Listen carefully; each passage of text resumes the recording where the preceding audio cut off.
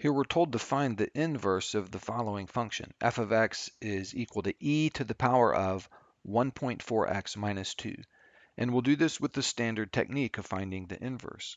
We rewrite the function with the y equals notation. So this is y equals e to the power of 1.4x minus 2. All we've done is replace the function notation with the y notation.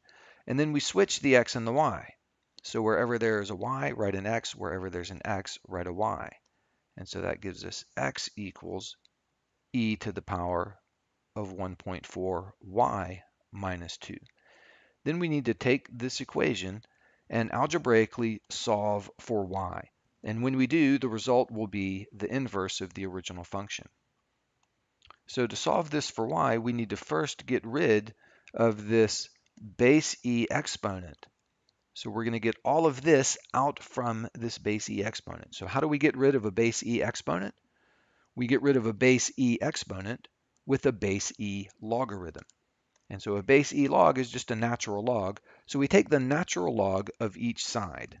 So on the left, the natural log of x is just ln x, natural log of x. And on the right, the natural log of e to this will simply be this, a natural log, which is a base e log, will cancel out a base e exponent. So when we do the natural log of e to something, the result is simply that something. So the right side becomes 1.4y minus 2. And then the rest is ordinary algebra. We need to solve this for y. So I'll add 2 to each side, and that gives me the natural log of x plus 2 is equal to 1.4y, and then divide both sides by 1.4. And there the 1.4 cancels out, and you're left with y now isolated algebraically. So y is equal to this. That means that this is the inverse of the original function. So let's write that. f inverse of x is equal to the natural log of x plus 2 over 1.4. Now let's just take a second and look at what's going on here. If you were to plug in a number for x here and calculate a value for the function for a particular value of x, think about the steps that you would have to do. You would multiply by 1.4. Okay. You would take whatever you put in for x, and the first thing you would do would be multiply by 1.4. Then you would subtract 2 Okay, and then you would take a base e exponent. You would take an exponent of base e. Okay, now the inverse function will reverse all of those steps. If I were to put in a number here for x and try to calculate the value of the inverse function for that value of x, this is what would happen. I would start off doing the natural log of x, which is the reverse of that step. Then I would add 2, which is the reverse of the subtracting of 2. And then I would divide by 1, 1.4, which would undo the multiplication by 1.4. So all the steps that we would do to calculate the value of this function are undone if we calculate the value of the inverse function. And one more, we're told to find the inverse of this function. f of x is 3 e to the 5x plus 1. So let's rewrite this with the y notation. y equals 3 e to the 5x plus 1. And then we switch x and y. So I'll put an x right here and a y right there. And that gives me x equals 3 e to the power of 5y plus 1.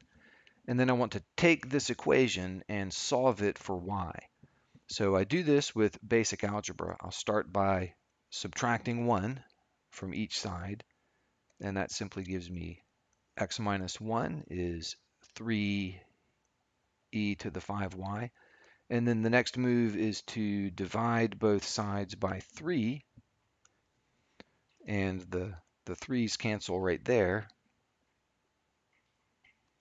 Okay, so then I have x minus 1 over 3 is equal to e to the 5y.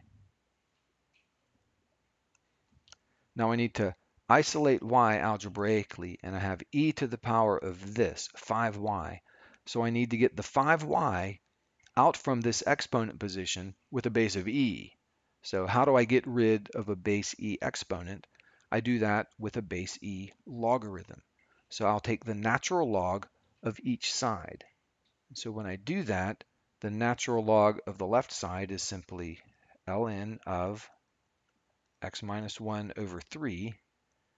And the natural log of the right side will cancel out the base e exponent. So I just get 5y. So natural log of x minus 1 over 3 is equal to 5y. And then the last step will be to get rid of the, the 5. So I'll divide both sides by 5. And here the 5's cancel out, and I'm left with y is equal to this. So this is the answer. Right here, this is the inverse of the original function. So I'm going to write it like that with the inverse notation. f inverse of x is equal to, and instead of this division by 5, which basically gives me a complex fraction here, I'm just going to write that as 1 fifth, 1 fifth of the natural log of x minus 1 over 3. That is the inverse of my original function.